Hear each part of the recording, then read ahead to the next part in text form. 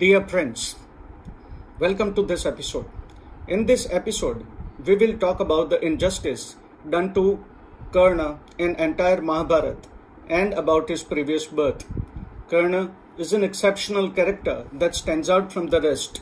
All his life, he has been wronged. His mother leaves him, his guru curses him. In Draupadi Swayamvar, Draupadi insults him. Uh, Indra takes his armor. Kunti takes promise from him that he will not harm any other Pandavas other than Arjun. His only weapon, reserved for Arjun, is used in killing Ghatotkacha. Bhishma puts a condition that if Karna is around, he will not fight. Shalya is planted as his charioteer and keeps on insulting him. His wheel gets stuck in the battle and is killed without a weapon. The only emotional support that Karna gets is from Duryodhan and he pays back with his loyalty. He doesn't give up his nobility even in the time, times of crisis.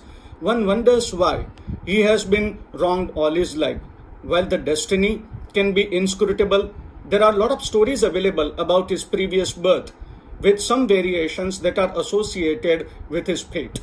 It is believed that in his previous birth, Karna was a demon called Dambodbhav or Sahasra Kavach, meaning a person with 1000 armor.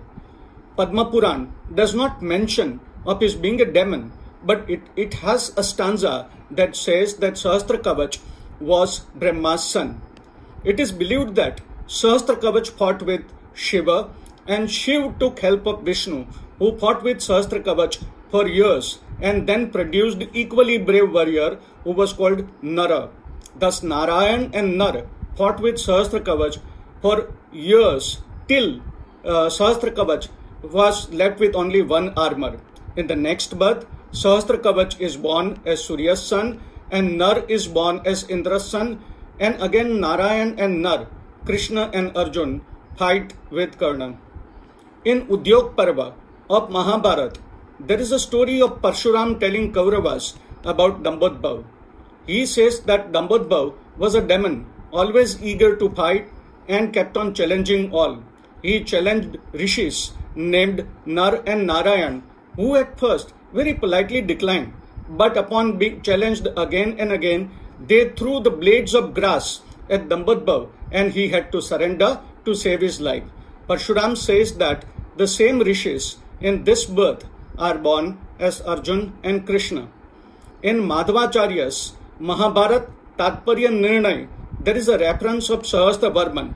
Madhvacharya believed that Sugriv of Ramayan wanted to repent for his act of killing his brother Vali, so he is born as Karna.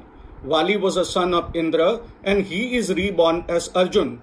Thus, in this birth, Arjun has the upper hand. But the main story in oral traditions goes like this. There was a demon called Dambodbhav and he worshipped sun god Surya for, for years and years. When the god became happy, uh, Dambodbhav asked for immortality. Sun god refused that. So Dambodbhav asked for 1000 armors and asked if one had to break one armor, one should do penance of 1000 years. Thus emboldened, Dambodbhav started troubling all. Rishi called Dharma and his wife Murti prayed to Vishnu for saving people from this demon. And uh, uh, Vishnu was born as twins to them and uh, they were called Nar and Narayan. They started fighting with Dambodbhav and while one fought, the other got into penance for thousand years. And thus they took turns. By the time they broke 999 armors, the Yuga ended. In the next birth, all three are again born. Dambodbhav as Karna, Nar as Arjun, and Narayan as Krishna, and thus they kill Karna. It is believed that Karna had married Vrishali. However, no certain uh, detail about this is available and had seven sons. His youngest son was called Vrishiketu. He was one of the four survivors on the side of Kauravas at the end of the battle of Mahabharata. Yudhishthir knew about Vrishiketu's valor and thus makes him the king of Indraprastha. There was peace and bonding between Vrishiketu and Pandavas. Arjun even became a guru to Vrishiketu. When Yudhishthir performed Rajasuya Yajna, the royal horse was set free. Arjun decided to go to south to defend it. Years before, Arjun had married Chitrangada and she was left in her own kingdom. Babruvahan was Arjun's son through Chitrangada. He captured the horse and there was a fierce battle between Babruvahan, Arjun and Vrishiketu in which Babruvahan kills both Arjun and Vrishiketu. However, he uh, brought Arjun alive with the help of Ulupi, who was another wife of Arjun and was a Nag Kanya. Some myths also say that Krishna brought Vrishiketu back to life, Singh Arjun said. While oral traditions have tried to justify Karna's killing, one must admire his skills and his nobility and his loyalty. Later on in India, a Sanskrit dramatist called Bhas wrote a drama called Karna Bharam in which he did poetic justice to Karna.